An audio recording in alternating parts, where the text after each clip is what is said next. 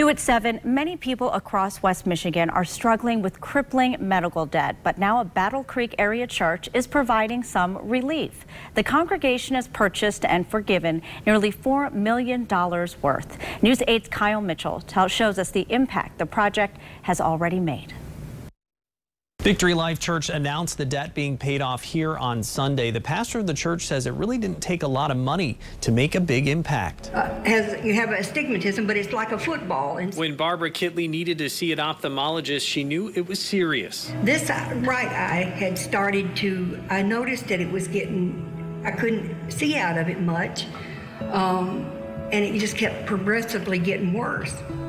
And it got to the point that I could not see nothing out of it. The Victory Life church member found out the problem could be fixed, but she didn't know how to cover the cost. Insurance won't cover it because we consider, they consider it cosmetic surgery. So it was going to cost me quite a bit of money to have it done. When insurance came up short, the congregation stepped in and paid the bill. It was a blessing from Father God. And seeing the struggle to pay for medical debt firsthand inspired the Battle Creek Area Church to do more. $3.89 million.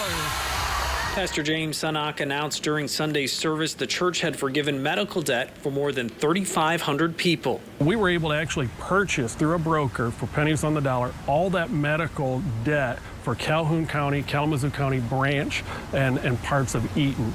The church was able to erase the medical debt at a cost of just $15,000. Rather than getting this their debt sold to a bill collector and being harassed, uh, we took that pressure completely out of their lives, and instead they got a letter from Victory Life saying, Your medical debt is completely paid for. You owe nothing, no strings attached. For people like Barbara, the generosity of the congregation will never be forgotten. Yeah, I could see.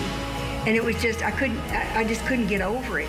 Uh, looked at the TV and I said, "Oh my goodness, look at that! I, I, can, I can see that. I can. The colors are so bright and bold." The church hopes more people will be inspired to help pay off medical debt.